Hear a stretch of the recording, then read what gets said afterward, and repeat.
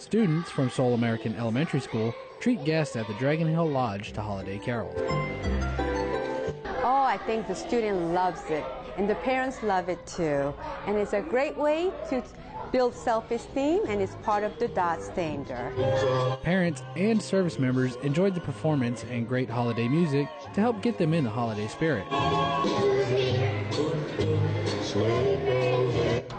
Was very thrilled and very proud of all the students. They all did a great job, and I couldn't ask anything better. I'm very proud of my students. Miss Koo's class performed nine songs, some in Hangul and some in sign language. Army Sergeant Sam DeLeon, Yongsan, Korea.